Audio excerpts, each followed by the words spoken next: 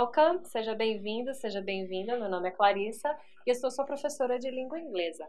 Hoje, na nossa aula, nós vamos falar sobre plural, plural das palavras. Nós sabemos que substantivos, eles nomeiam as coisas que nos rodeiam, como gato, cachorro, câmera, lápis e assim por diante.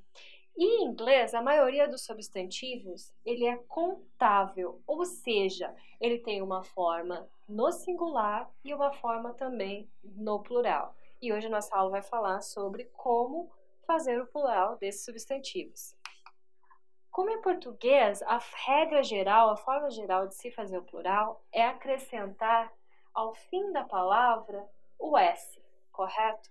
Então, por exemplo, olha as duas primeiras palavras que a gente tem aqui: boy, que é garoto, no plural, boys. Book, livro, no plural, books, livros. Então, lembrando a regra geral, acrescenta o S no final da palavra. Existem outras regras, no entanto, e essas regrinhas mais específicas é o que nós vamos ver a seguir.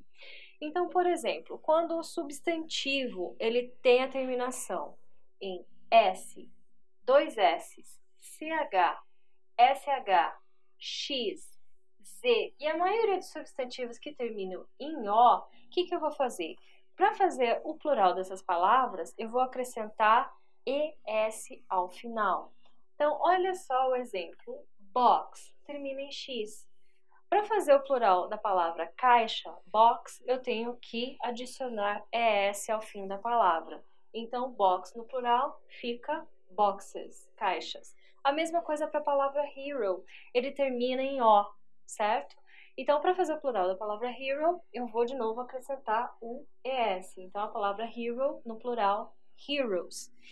Entretanto, lembrando que toda regra tem a sua exceção, existem alguns substantivos que a gente vai acrescentar somente S, principalmente nas palavras terminadas em O. Então, olha só, photo vai ficar normal só com S, photos, radio, radios, vídeo, a mesma coisa para piano, a mesma coisa para quilo e a mesma coisa para avocado, que é o abacate. Então, existem exceções à regrinha do O.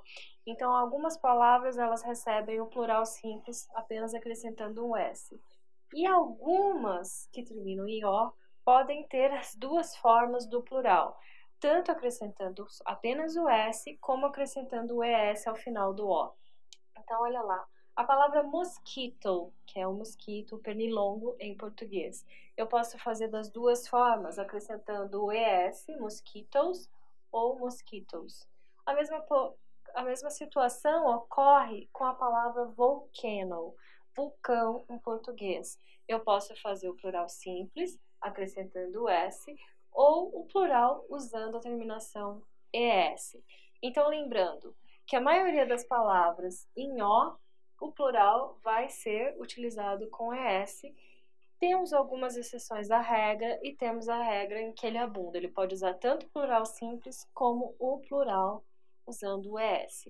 A segunda regrinha que nós vamos ver hoje é quando o substantivo ele termina em Y. E antes desse Y, ele tem uma consoante.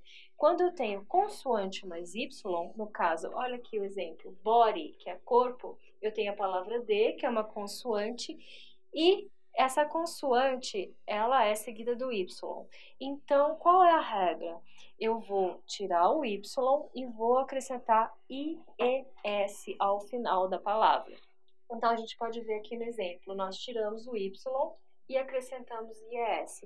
Então, body no singular, corpo, ficaria bodies no plural em inglês, corpos. É a mesma coisa com a palavra city, cidade. City, ela é uma palavra, um substantivo, consoante mais Y. Lembrando, terminando em consoante mais Y, retiro Y e acrescento IES. Então, city, plural, cities. A próxima regra que nós vamos ter é quando as palavras têm a terminação F, elas terminam com F ou terminam em FE. Quando a palavra tem esse, essa terminação, o meu plural eu vou ter que usar VES. Eu vou ter que substituir o F ou substituir o FE por VES. Vamos dar uma olhada nos exemplos aqui abaixo. Eu tenho a palavra life.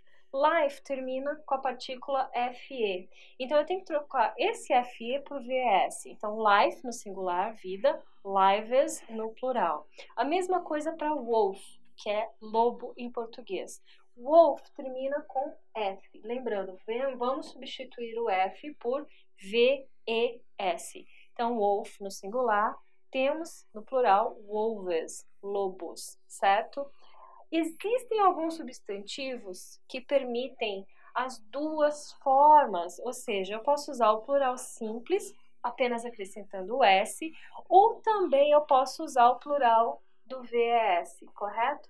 Então, no caso da palavra scarf, que é o cachecol, eu posso usar scarves com S no final, como aqui o exemplo, ou eu posso usar a regra do F do FE e colocar VS no final. Tiro o F e tenho scarves, mas isso é uma exceção à regra. Plural. No plural, a gente tem algumas palavras que não seguem regra alguma. É o que nós chamamos de plural irregular, certo? Infelizmente, você vai ter aluno que entender quais são essas palavras que são irregulares e aprender quais são os plurais dessas palavras. Então, aqui a gente tem elencado algumas dessas exceções, algum, alguns desses plurais irregulares.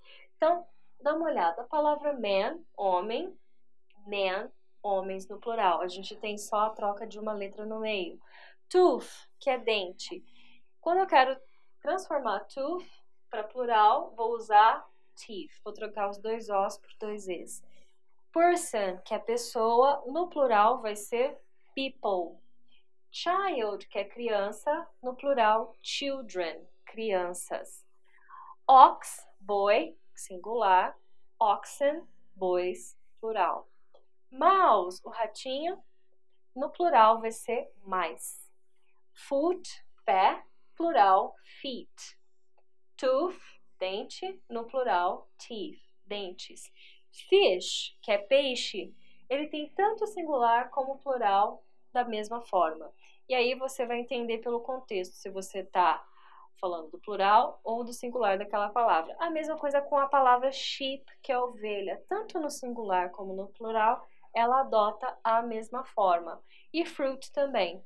Tanto no plural como no singular, é a mesma forma. E aí, pelo contexto, você vai saber se você está usando singular ou plural da, da nossa palavra aqui. Então, hoje nós, na nossa aula, vimos sobre como fazer o plural dos substantivos. Vamos fazer uma revisão? Que nem no português, a regra geral para se fazer o plural de palavras é acrescentar o S ao fim dessa palavra. A mesma coisa acontece no inglês. No entanto, existem outras regras que a gente precisa prestar bastante atenção. Quando eu tenho uma palavra que termina em Y e ela é precedida de consoante, ou seja, consoante mais Y, a regra vai ser a seguinte: eu vou trocar o Y e vou colocar IES no fim dessa palavra. No caso de palavras que terminem em S, SS, CH, SH, X, Z e o O, eu vou acrescentar ao fim dessas palavras apenas acrescentar o ES e transformar essa palavra em plural. No caso de palavras que terminem com F ou FE, eu vou precisar trocar esse F ou FE e colocar no lugar o VES. E nós também vimos que existem palavras que não seguem regra nenhuma, ou seja, são plurais irregulares. Então, esses plurais irregulares, prezado, você vai ter que aprender na marra. Child, no caso, plural children, ok? Então é isso. Chegamos ao fim da nossa aula de inglês. Espero que vocês tenham gostado. Thank you, muito obrigada, and see you next class. Vejo você na próxima aula.